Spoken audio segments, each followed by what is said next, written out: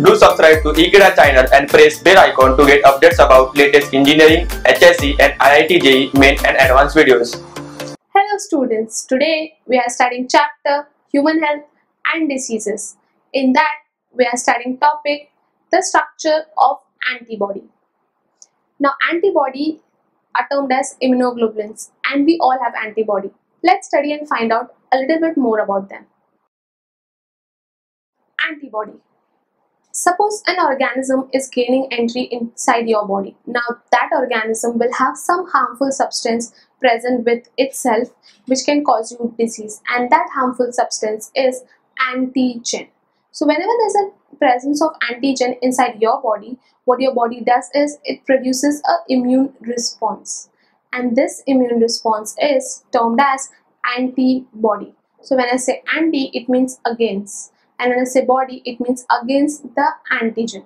So what happens is your antibody which is always Y shaped or Y in nature catch holds or attaches to the antigen and antigen antibody complex is formed inside our body. Now this antigen antibody complex is recognized by plasma cells, B lymphocytes, T lymphocytes, phagocytic cells and further reactions in body is taken out. So antibodies are also termed as immunoglobulins. Now they are uh, basically glycoproteins. They are produced by plasma cells of our body and they are almost Y-shaped. The alphabet Y closely resembles antibody. They're made up of four polypeptides. Now these four polypeptides or protein chains if I can simple language. Now two of them are heavy chains which are termed as H chains, capital H whereas two of them are light chains which are termed as L capital L chains. These four polypeptide chains are joined together by disulfide bonds or SS bonds and there are hinge regions present inside the structure of antibody.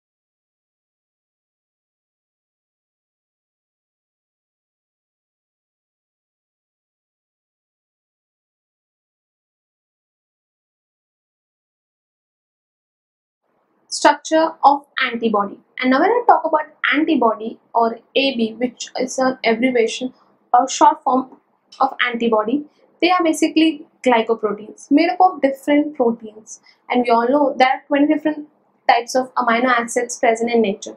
And these 20 different amino acids assemble in certain fashion to form antibodies. Now we all know that a specific antibody can be specific to a particular antigen and antigen are nothing but harmful substances of bacteria. So there is always a formation of antigen and antibody complex. Now antibodies are also termed as Ig or immunoglobulins which is another name for antibodies. Antibodies are basically produced by plasma cells of our body. They consist of four polypeptide. Now if I am saying they are made up of proteins then when a chain of proteins are joined together we all know students that the bond that is formed is peptide bond consisting of NH2 and COOH, amine and carboxylic group. This polypeptide basically have two heavy chains or which are termed as H chains and two light chains which are termed as L chains. Now these four polypeptides are held together or I can say simply joined together by disulfide bonds or SS bonds.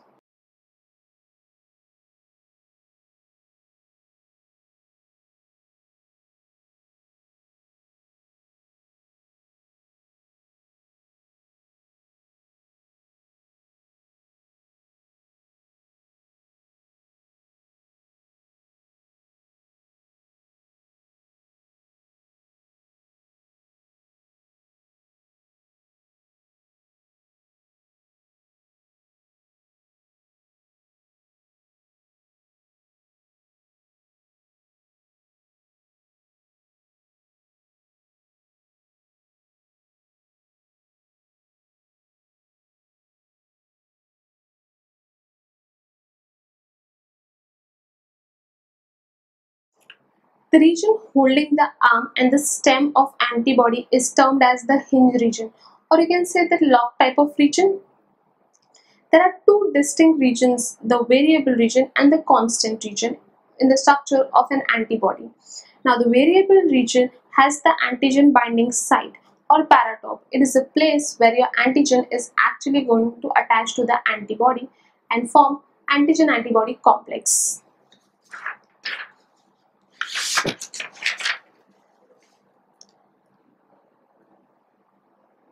Students, uh, this is a structure of an antibody. Now, this we can term as the variable region or you can say it, it is the antigen binding site. At this place or this position, your antigen will bind to the antibody and form antigen antibody complex. These are the disulfide bonds or SS bonds which basically group or attach the two polypeptides together. Now this is termed as the variable region, the upper two strands and these are the constant regions. This is the hinge region where variable region and constant region comes to an attachment. This is the heavy constant chain region and this is termed as the light chain region. There are presence of disulfide bonds for the attachment of the polypeptide chain in a better fashion. At this place also antigen can bind. This can also be termed as antigen binding site. Students, whenever antigen and antibody complex is formed, it is an indication of presence of an infection in the body.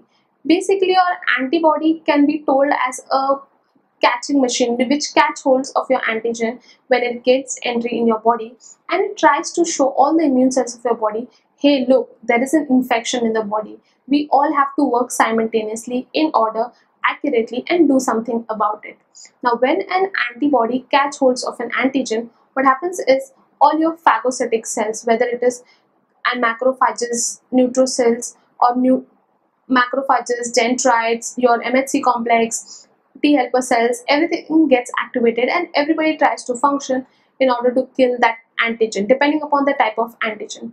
I hope students you are clear about this concept of structure of antibody. Thank you.